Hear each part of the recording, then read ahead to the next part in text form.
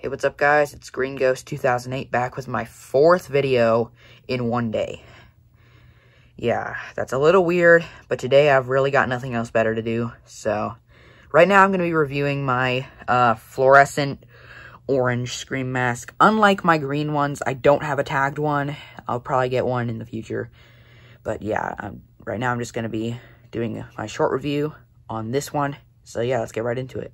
At first glance, it doesn't really look like it has any flaws, but when you take a more detailed look at it, it's definitely got some flaws. For example, um, there's this, uh, huge dent on the side of the face. I don't know if that's just the way I set it down or not, but it's actually really hard plastic. I can't really, like, it's not, it's not very flexible, so I can't, I don't think it's that. There's also some very noticeable scratches on the face, especially around the nose area and mouth area right there and right there. There's also a tiny scuff mark on the mouth uh, right there.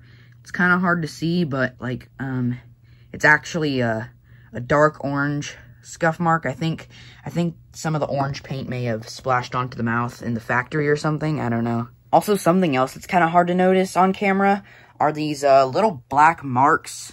Um, they're pretty much all over the mask. I don't I don't exactly know what they are. I don't think they're scuff marks. They may be the paint rubbing off. Yeah, they're just kind of really all over the mask, really. Yeah, those are mainly the flaws, but despite those, I still really, really like this mask a lot. Um, I was after one of these for a very long time. Um, it looks very Halloweeny to me, more, much more than the regular ghost face mask, in my opinion, just because like the orange and yeah. And um, in case you're like not good at pointing out small details, this is not a Fantastic Faces. This is also a 2019 fluorescent like my two green masks that I reviewed earlier.